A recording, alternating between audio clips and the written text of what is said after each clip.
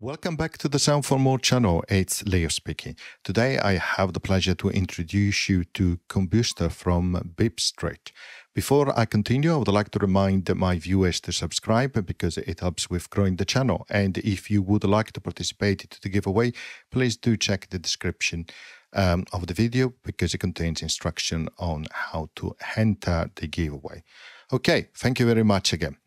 So we are inside AUM and we are going to create an audio channel and we are going to select as insert effects combustor like so. Interesting name. It is from the Beep Street the developer of Drumbus so always very good quality up from Beep Street. Okay let's uh, load several um, audio sources and then we are going to test it with uh, different audio sources and see how it goes Okay, let's open up the AUM keyboard and there it is. As you can see, nice uh, interface, nice and simple. Is a time bending resonator effect. So starting from the top, you have a selection of some of the preset, nice and simple. Then you can move back and forward. You can click plus, of course. And if you click plus, you save the preset, of course, and you give it a name. Then you have an enveloped follower which uh, you can uh, uh, adjust the attack and release, and it is going to impact the tuning and the filter here on the combustor.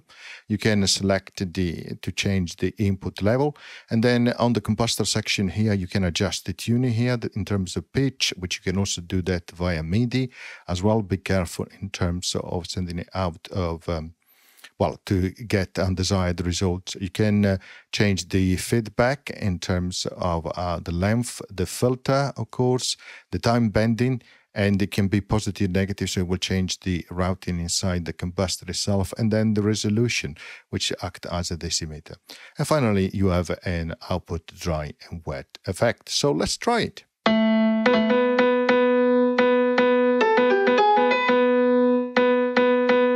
So input level. Double click, set to default. Okay. Adjust the tuning now on the envelope follower.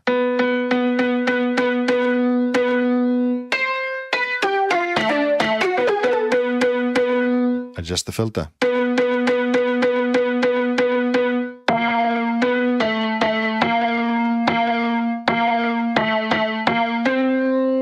Adjust the release. Let's make it short.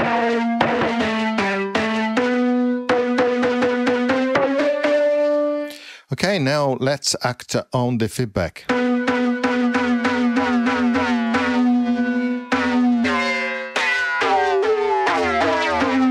You wouldn't think this is a piano, right? Let's adjust the filter.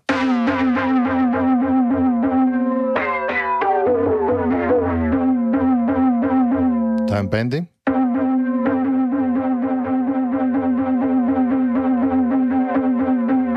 Resolution acts as a decimator. Let's listen.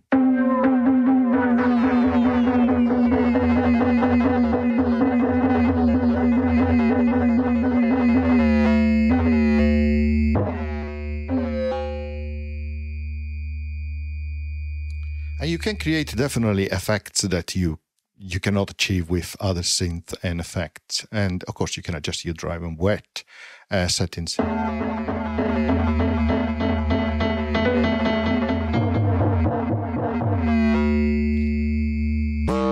Let's change some uh, of the preset and let's listen.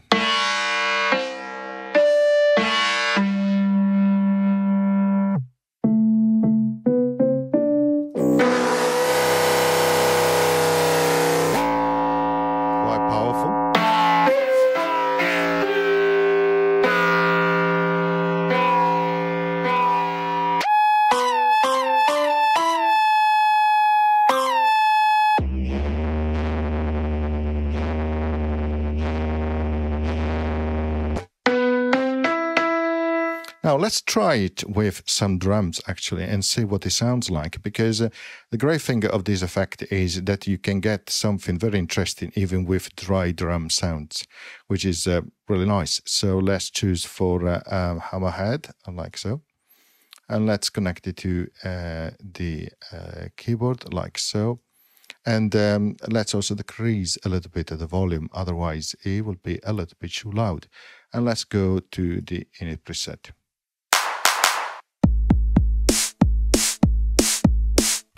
Let's play.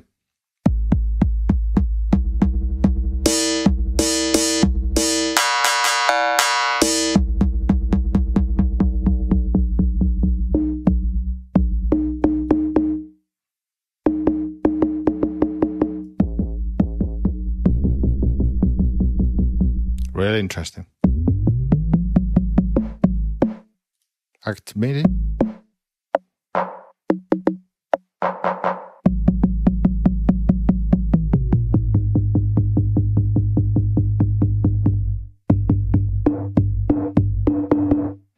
Let's try a preset related to drum, this foil drum.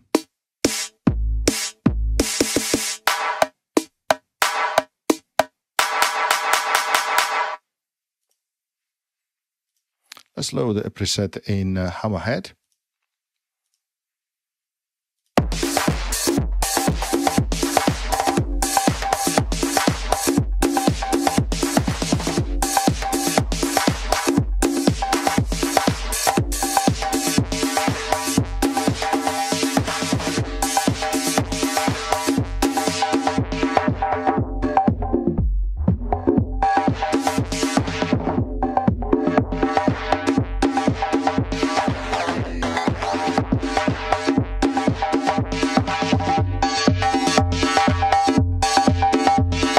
Like this one.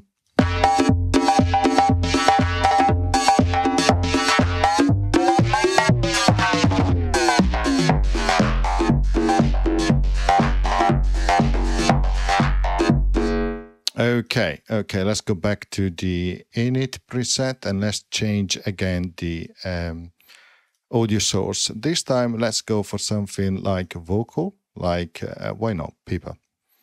Okay, we open it up, we select um, a different preset. We connect it to the keyboard. Okay, let's see what we can get, like so.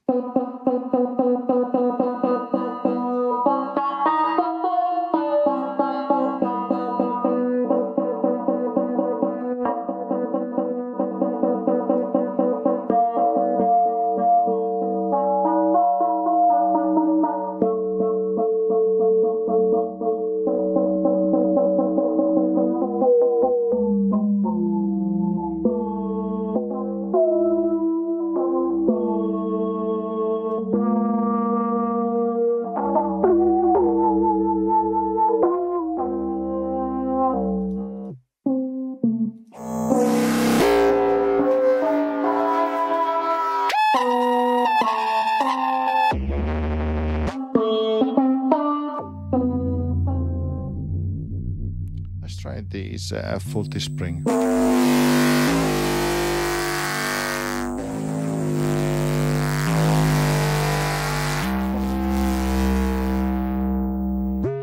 And the synth spice one.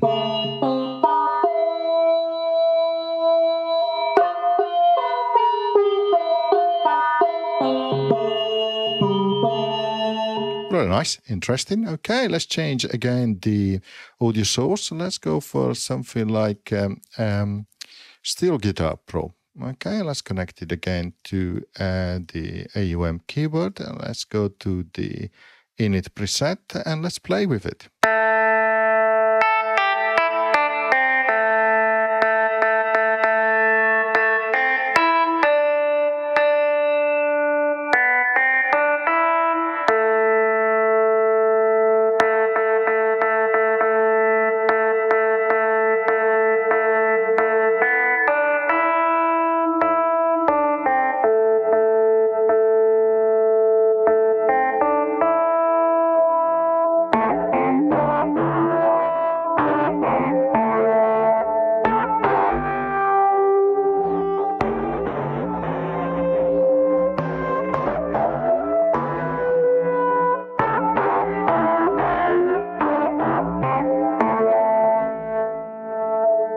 Very interesting. Let's try it again with uh, uh, something again uh, very different, like uh, Red Strike, which I always like. So let's go for resetting the init preset like so. Let's connect the keyboard again and let's play.